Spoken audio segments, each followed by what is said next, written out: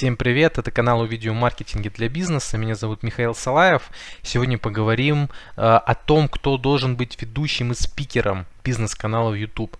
Э, сейчас я обращаюсь к предпринимателям, к основателям там, своей компании, к фрилансеру, кто раз, продвигает свой личный бренд, то есть к экспертам, кто решил, что я хочу заниматься YouTube каналом, возможно, что-то начали, и такой очень распространенный вопрос, очень часто мне его задают, это все-таки самому быть в кадре или же есть какие-то альтернативы? А если кто, кто-то кому-то другому отдавать, не, не будут ли какие-то проблемы? Вот сегодня моя задача порассуждать на эту тему. Нет такого однозначного э, решения, э, но мы разберем несколько примеров в конце и, в принципе, пробежимся по вариантам. Э, вариантов в деталях может быть много, но основные это сам основатель. Основатель это тот, кто...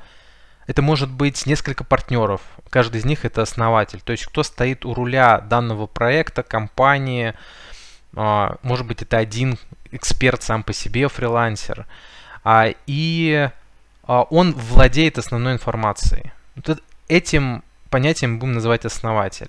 А, сотрудник – это тот, кто работает а, в твоей организации, в твоей компании, но а, если все полетит к чертям, например, он вообще ни при чем. Ну, к примеру, да. То есть он никак не привязан к компании, бизнесу. А третье это взять профессионального ведущего, который будет лицом бренда, лицом компании. Вот такие есть основные три варианта. А, я склоняюсь а, к тому, а, чтобы основатель был в кадре и, в принципе, был спикером YouTube канала. К этому есть множество причин, но есть некие исключения, в примерах мы их разберем. И я всегда настаиваю на этом. У некоторых есть мнение, что ну, так скажем, есть э, люди, которые, ну, у них язык не подвешен, вот как ни крути, у них все равно толком не получится. И работать, например, вот как наше агентство, работать со спикером, у кого очень сложно что-то получается, сложно это дается, ну, бессмысленно. Но я считаю, даже если человек хуже говорит, даже если есть эти проблемы, но у него есть мотивация это преодолеть, мотивация научиться, то нужно, чтобы основатель, основатель был в кадре. Почему? Ну, во-первых, а, основатель лучше знает свой продукт, знает тему, знает нишу, знает особенности. Он будет говорить максимально правильно, структурированно и прочее. Ну, то же самое, как в продажах, лучше всего будет продавать, естественно же, основатель, чем менеджер, который пришел в компанию. А, и это позволит делать более экспертный, более интересный контент соответственно. А это лучше для YouTube канала, если развиваться именно YouTube канал как некая экспертная, полезная информация. Да? Второе это прокачка личного бренда. А, представим ситуацию, что лицом компании был другой человек, и что-то может случиться, что, во-первых, он может э, внезапно просто свалить и уйти. То есть даже неважно, сотрудник или ведущий, он может пойти, не знаю, к конкуренту и по той же теме, то есть он набирает свой, как бы, мы за свои деньги прокачиваем а, личный статус данного человека, который в кадре. А, он становится известным, и скорее к нему обратятся, например, конкуренту, он пойдет рассказывать об этих же продуктах уже у конкурентов, и вы с этим ничего не можете поделать. Ну, возможно, можете, об этом еще поговорим. И лучше а, чтобы все а, затраты, которые вы тратите там на продвижение YouTube, на создание роликов, там, на съемку, монтаж, а, еще добавить все-таки свое участие для того, чтобы этот ресурс работал на вас. Даже если у вас что-то случится, еще продукт, там, не знаю, находится, вы не уверены, что вы будете, будете им точно там, заниматься или, или что-то там не получится, то вы все равно останетесь как эксперт, как тот человек, который в этом вот направлении разбирается, и вы можете взять какое-то другое направление и, используя успех на YouTube, открыть его и начать работать а, уже в другом. А, этот личный бренд – это тот ресурс, который будет очень сильно работать на вас, даже вне привязки к бизнесу. Короче, мысль связана именно с этим. А также YouTube канал позволяет очень круто а, структурировать информацию. А, об этом очень здорово сказал а, Алексей, компания СКГАЗ. Ссылочку оставлю в подсказках и в описании, а, где он рассказывал, в принципе, что YouTube-канал и работа с ним ему как предпринимателю, основателю а, дали.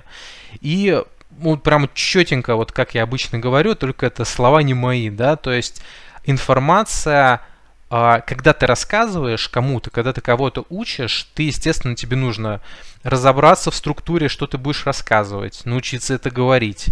Ты начинаешь копать какие-то темы, какие-то направления, какие-то направления продукта, ты начинаешь а, лучше в них, ну даже не то, что лучше разбираться, лучше их понимать, лучше формулировать ценность данного продукта лучше э, формулировать преимущества, лучше формулировать особенности, которые потом можно использовать даже при продажах, как вот навыки продаж, то, что вы наработаете, рассказывая это другим в YouTube, а вы это же будете использовать при общении там, с теми же клиентами, с партнерами и так далее. А, и, ну, это очень важно, то есть мысль, если ты учишь, ты сам лучше разбираешься. Это стопудняк супер просто работает. А, естественно, прокачка ораторского искусства. То есть ни один спикер а, и ни один человек, который даже выступал на публике где-то, просто вот рассказывать все на, на видеокамеру к железке очень сложно. А, я, я тоже через это прошел. А, и оставлю, опять же, еще ссылочку на видеоролик, где рассказываю, а, ну, собственно, даю рекомендации, как вести себя перед камерой, как я проходил, какие есть фишки, как можно себе помочь, как ускорить момент того, когда ты станешь лучше говорить на камеру, да. Опять же, ссылочка в описании, в подсказке тоже будет. А, и ораторское искусство – это то, что по жизни всегда, в любом случае, даже без привязки к бизнесу, вам пригодится. YouTube это прокачивает. А, ну и еще один такой момент, а, за счет того, что а, выступает не некий человек, кто-то там, а именно знают, что это основатель компании, то доверие к такому человеку выше, что тоже, опять же, важно для прокачки YouTube в целом. То есть есть такое восприятие, что это такой ну, настоящий профессионал. То есть в целом вот такие мысли по с точки зрения, почему основатель именно должен быть в кадре. Но есть недостаток. Недостаток это ваше личное время, которое вы тратите. И если вы участвуете и у вас нет помощи со стороны, то есть, там, не знаю, сотрудников компании, которые все это будут снимать, монтировать, вам подсказывать, там обратную связь давать, то есть там много-много моментов, то вам будет ну, очень тяжело это. Надо там разобраться, нужно там какое-то приложение найти, надо какая-то камеру, как-то надо ее там где-то закрепить себе, как-то снимать, как-то это смонтировать. То есть э, я всегда изначально за то, чтобы хоть как-то, но сделать. Но это реально отнимает время. Просто тот, кто начинающий, э, у него времени может быть больше, но не такое ценное, а тот, кто уже в бизнесе, вообще в YouTube смысл есть идти, когда уже есть за плечами опыт, трех-пятилетний, например, и, и важно время свое ценить, а, и для этого участвовать только в том, где вы точно необходимы. Ну, то есть, скажем, если вы все делегировали, а на себя вы берете только там а, подсказать, какие темы, ну, то есть там, предложить темы, которыми лучше вы всего владеете, и может о них рассказать. Потом эти темы можно там пробить по ключевым запросам и из них уже подсобрать там конкретные заголовки и порекомендовать уже конкретику, да, но вы должны дать эту обратку, какие темы. А потом вам а, нужно там дополнительно еще участвовать, а, естественно, в съемочной смене. Плюс вам нужно донести, например, до человека, который это все организует, а, тезис сна, о чем вы будете рассказывать чтобы уже была некая структура с точки зрения смысловых экспертных составляющих, потому что никто за вас статью или э, видеоролик по наполнению таким же классным не сделает, как вы. То есть вы должны делиться экспертностью. Все остальное с точки зрения там, продающей структуры ролика, э, продвижение, видеосъемка, вот эта вся механика, это все, конечно, лучше же отдавать и, в принципе, в сухом остатке, да, вы уделяете время, но оно не такое уже большое, а, и очень сильно как бы закрывается теми плюсами, которые от вашего присутствия на канале а, появляются. Теперь рассмотрим альтернативы. когда все-таки не основатель, а сотрудник или ведущий? А, во-первых, ну, реально бывают ситуации, когда человек интроверт. Ну, то есть мощный, сильный интроверт. И вот, ну, просто физиологически, ну, ну, не может он, ему это вообще не свойственно что-либо и как-то рассказывать. И второе, это, наверное, когда нет желания. То есть иногда, когда сложно, ну можно, да, но отсутствует желание, тоже бесполезно лезть, ничего хорошего из этого не получится, потому что YouTube это работа в долгую. То есть э, надо решиться на этот шаг, чтобы все-таки как основатель быть в кадре. А, ну, правда, появляется куча проблем, чтобы это делегировать тоже, и это было красиво, правильно, экспертно и прочие моменты. Ну да ладно, короче, интроверт. Второе это видеообзоры. Ну, это как такой пример, то есть есть некие ситуации, разберем, ну, например, там беговые дорожки, когда ну, кстати, все равно, в принципе, лучше, чтобы это, наверное, и основатель, то есть не очень большая компания, определенный бренд, беговые дорожки. Почему бы не рассказать о беговых дорожках самому основателю? Ну, в принципе, ничего не теряется, это не супер такая экспертная ниша, чтобы то есть, например, вот я рассказываю то, что о YouTube продвижении, ну, здесь это тяжело рассказать. А рассказать о свойствах и функциях какого-то товара, э, в принципе, спокойно может сделать, лучше сделает профессиональный ведущий, образ, который больше подходит под восприятие целевой аудитории э, и по многим другим параметрам более подходящий. Поэтому видеообзор это как направление, на самом деле это как бы любые крупные какие-то бренды, это какие-то товары, товарка. То есть есть э, варианты, когда в принципе ничего страшного в этом нету. И в принципе я больше, наверное, сегодня разбираю э, YouTube каналы малого бизнеса, микробизнеса, начинающего бизнеса, экспертного бизнеса. Наверное, больше про это говорю. А теперь, э, ну еще такой может быть момент. Э, вы в своей нише все-таки как основатель вы организатор, продюсер, да, то есть вы владеете информацией, но не настолько круто, как это, эта информация будет владеть некий специалист. А, и это будет сказываться, естественно, потому что навыки со временем начинают теряться, вы как бы развиваетесь в другом, а не вот э, роетесь внутри экспертности. А, и это тоже может влиять. Поэтому, возможно, если есть в компании сотрудник суперпрофессионал, который очень классно может все раскладывать, и вы с ним уже давно, то, может быть, подумать о рассмотрении, но при определенных моментах, которые дальше будут. А, ну и плюс, а, опять же, если там ситуация не хочу интроверт, да, еще плюс какой-то есть подходящий харизматичный ведущий, которому еще это интересно, есть мотивация, он в теме, а, ну, тоже можно попробовать. А что нужно, если мы будем работать с сотрудником или с ведущим?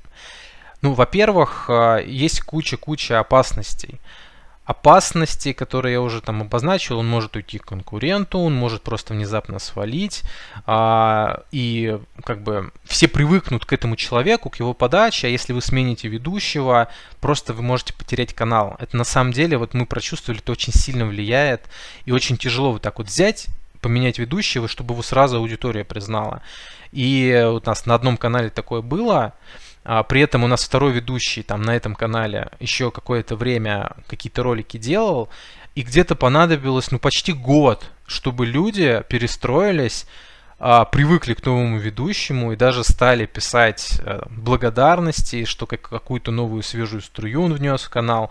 Но в начале, как, например, этот в, в Орел, и, Орел и Решка, когда вот новый ведущий приходит обычно, неизвестно откуда, да, и там просто такой шквал негатива. Вот то же самое будет, и вам это, в принципе, не надо. А, вот, поэтому лучше подписать контракт. Это уже такие юридические тонкости, но по сути нужно прописать такие моменты, вот как иногда делают с блогерами контракт на год, как э, амбассадор бренда, что э, являетесь какое-то время, там, в течение пяти лет, например, лицом бренда, вы не имеете права рассказывать о подобной продукции а, где-то там еще, только об этом бренде, нельзя говорить негатив нигде, а, и такие такие-то штрафные санкции. Там очень много деталей, здесь уже надо с юристом работать, но нужно подстраховываться и обязательно это сделать. Еще такой момент, он технический, но опять же из негативного опыта. Это вопрос доступами. То есть реально бывают ситуации, когда э, там, попросили, ну-ка Петь, сделай, сделай-ка нам YouTube канал, давай, давай записывать ролики, давай там все создай. Он все создал, занимается этим два года, стал известным популярным ведущим, а при этом доступ это только у него. И вы не можете забрать. Этот Петя зазнается, ну, образно зазнается, да. Ну, в общем, короче говоря, ну, типа, я столько работал, два года на этот канал, снимал ролики, почему я должен, типа, вам доступ свой отдавать, который изначально сделал.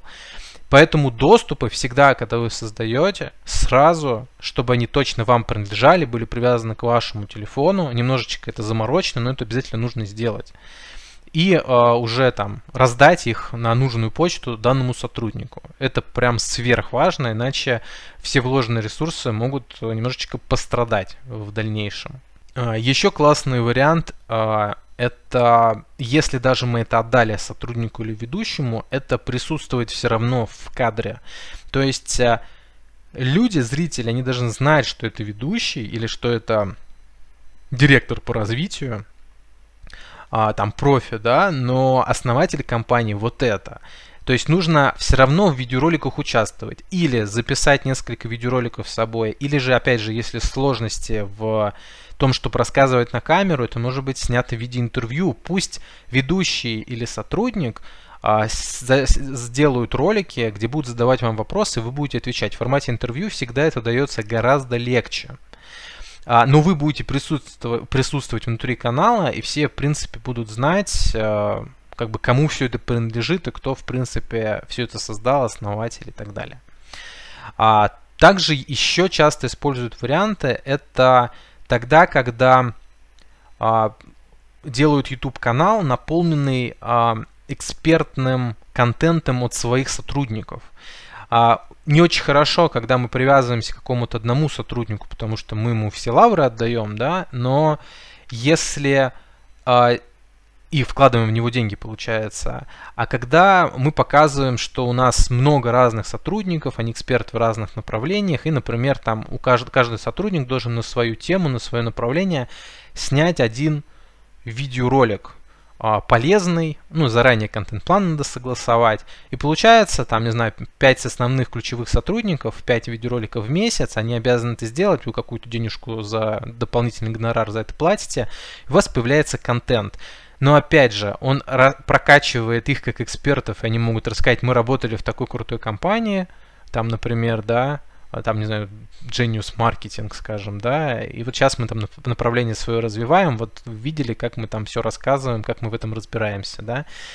А, это круто подчеркивает а, сильную команду, круто работает, но, опять же, если там нет основателя, это плохо. Вот у Genius Marketing Олеся, он правильно поступил, то есть он пришел к тому, что ему нужно развивать не, не только себя, невозможно через личный бренд все продавать, нужно развивать а, команду, а, компанию в целом, самостоятельный организм, самостоятельные эксперты. Для этого было, а, у него есть один канал Олеся Тимофеев, где он там берет интервью, у него личный бренд прокачивает. И есть канал Genius Marketing, в котором уже сотрудники как раз создают этот контент. То есть используется данная стратегия, но опять же через продвижение личного бренда. Это не исключает продвижение личного бренда. А теперь как э, может выглядеть процесс реализации с участием основателя? То есть, в принципе, что от основателя нужно? У нас э, в агентстве принцип работы, такой есть девиз, э, что вы делитесь знаниями, остальное делаем мы. Как раз задача разгрузить по всем направлениям и вопросам, чтобы осталось только донести то, что мы просто ниоткуда не возьмем. Эти знания, а, в нише, знание продукта и так далее. И чтобы это сделать, то есть а, первое, я уже это начал да, до этого рассказывать, это темы, то есть направление, о чем я могу рассказать, в чем я лучше всех разбираюсь, или что это актуально для моего бизнеса. Это раскладка тем на тезисы. А, тезисы это, может, это могут быть вопросы, это а, может быть, ну, типа такого меню списка вообще, о чем может быть речь. А, и при этом, кроме вот сухой информации, желательно сразу продумывать, что очень часто не хватает в видеороликах по опыту, это каких-то примеров. То есть, кроме того, что мы сказали, что вот так лучше делать, каким образом мы это когда-то делали и какой был опыт с этим связанным. То есть какая-то история, какой-то пример. И чем больше этих историй, тем более получается живое повествование, когда рассказывает эксперт, э, предприниматель о том, через что он проходил на практике, очень, очень это бывает живо и интересно. А, и, э, ну, скажем, а, еще нужно, и продумать нужно еще визуализацию, то есть, э, когда мы, просто разные темы бывают, то есть, скажем, обустройство там кухонь, да, строим кухню, делаем кухню.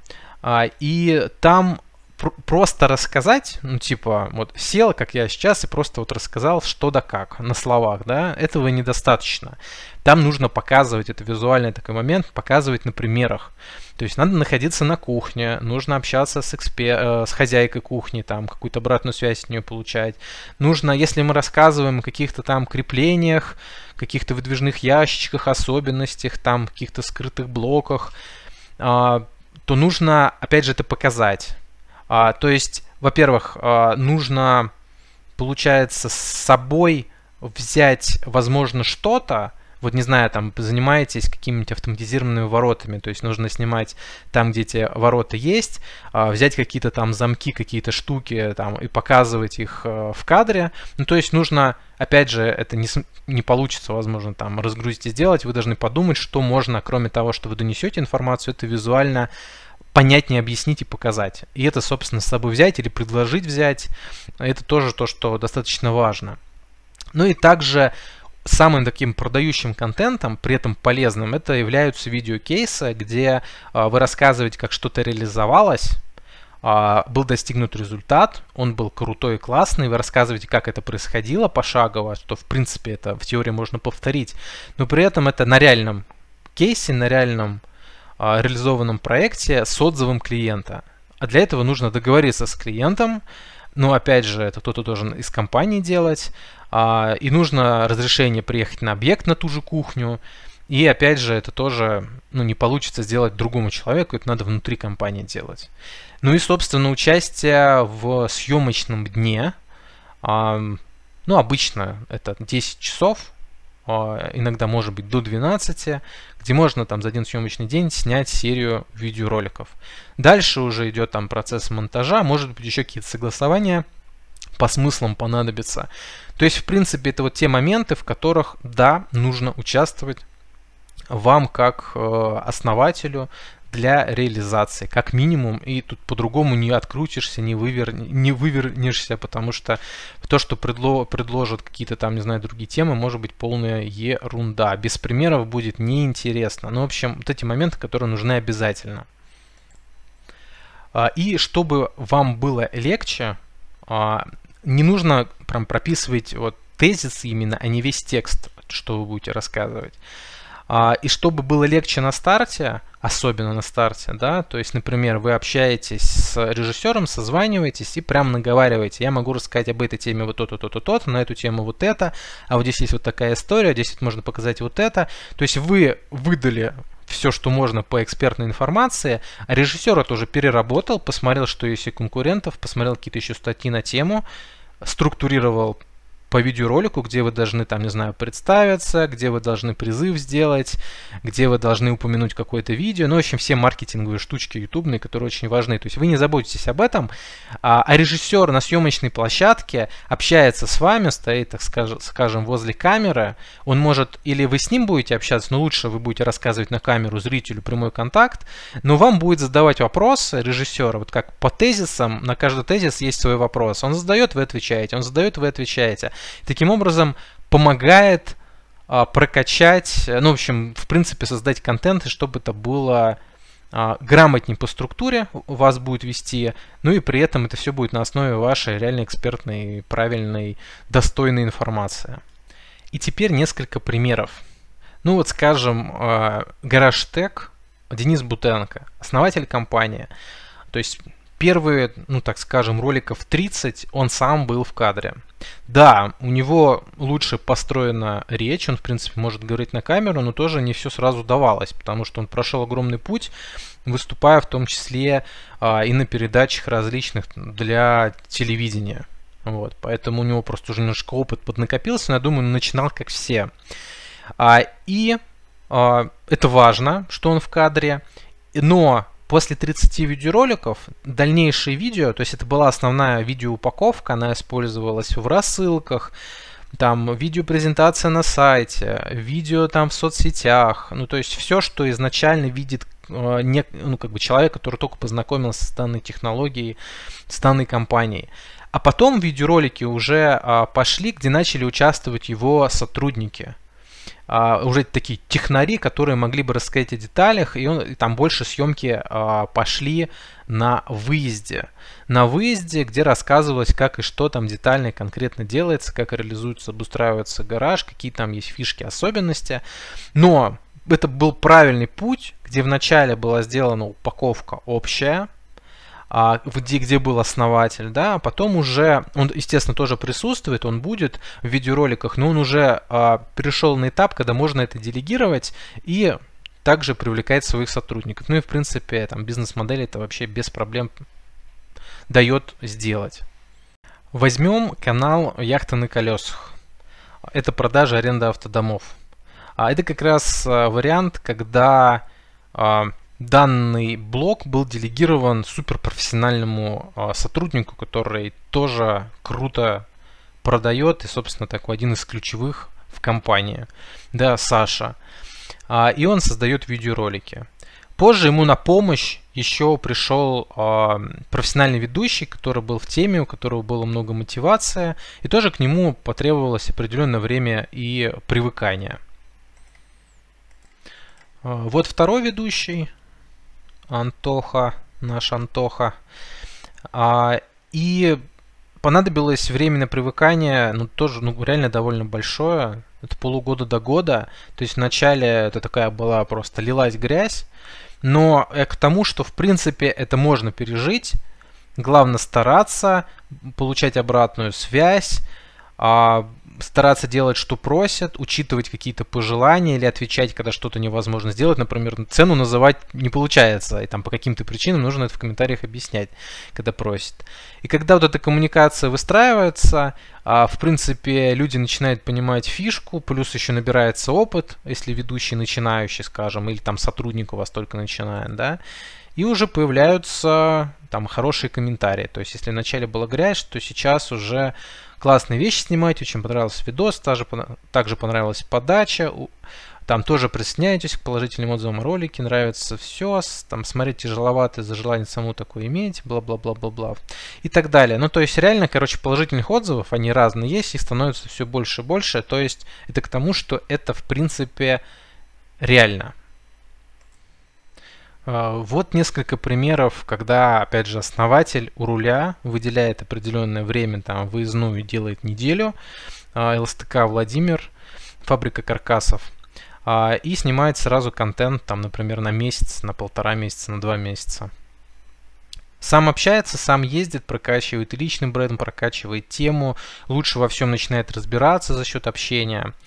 А дальше там берем, например, опять же, Open Village, то же самое. А, все завязано очень сильно на личном бренде. Сам участвует в кадре, сам проводит интервью. Тоже это очень-очень важно. А, берем а, Open Village, это выставка, так сказать, строительства домов, если коротко. А какие еще есть подобные там? Опять же, это все такие экспертные ниши, где очень много экспертной информации. Там СКГАЗ, довольно узкая ниша, том числе, а, опять же, Алексей. А, опять же, напоминаю, посмотреть не забудьте в описании отзыв, как это видео досмотрите обязательно. а, где рассказывает, что и как. Ну, собственно, то же самое. Сначала очень тяжело давалось с точки зрения преподнесения информации, но все возможно и все можно. Вот один из примеров. А, но это все проекты, с которыми а, или работаем, или работали. Или, например, вот диджей с школы диджеинга в том числе тоже, ну, максимально круто. Здесь, опять же, должны быть основатели в кадре. А, вот пример Астекло. Это тогда, когда Максим, основатель, он, ну, реально был такого характера склада, что мы даже когда пытались записать отзыв, это получалось очень странно, нескладно и очень было потрачено много времени. Ну, то есть там просто ну, невозможно и бессмысленно было бы снимать, поэтому задачу делегировали человек, который умеет говорить, преподнести информацию, директор по развитию, и э, именно он рассказывал все в видеороликах. А, и интересный пример это брокерс про страхование. То есть здесь грамотное решение было от основателя, это взять харизматичного ведущего, а, который очень классно мог все обыграть, популярно, понятно все объяснить, рассказать, смонтировать интересно, да, а, и это прям очень хорошо легло, но это не исключило участие основателя в YouTube-канале. То есть это ведущий, предоставитель информации, креативно, прикольно, интересно. Это важно тоже для аудитории. Но при этом на канале есть и такие вот интервьюшечки, где присутствуют основатели, тоже рассказывают очень важные полезные моменты по страхованию. А, и примеры, где тоже профессиональный ведущий, я упоминал беговые дорожки, то есть некие видеообзоры. Опять же, не обязательно, мне кажется, да, основателю в этом участвовать. Здесь уже профессиональный ведущий по подготовленному тексту красиво все это преподносит. Да? А, или, опять же, к тому же самому относится это, ну скажем, а, активный образ жизни спортхит, а, спортивный торговый центр, опять же, Антоха ведущий, и здесь обзорчики, опять же, это можно все делегировать, и это никак негативно не сказывается, то есть продвигается именно что-то офлайн бренд, так скажем, а не личный. Здесь не так это важно. То есть бизнес, бизнес совершенно разный может быть. Ну и то же самое там относится к той же Гордене. А, и здесь а, даже можно делать такие связки, когда у нас есть и женщина-ведущая, и при этом, чтобы у нас аудитория полностью охватывалась, также есть э, и мужчина-ведущий под образы и подобие целевой аудитории, то есть специально это подбиралось. И в завершение напоминаю посмотреть видео, ссылка в описании или в подсказках будет. Это как выступать перед камерой и преодолеть страх. То есть если вы думаете об этом, мне кажется, будет тоже ценным. Все, и будьте на виду, до встречи.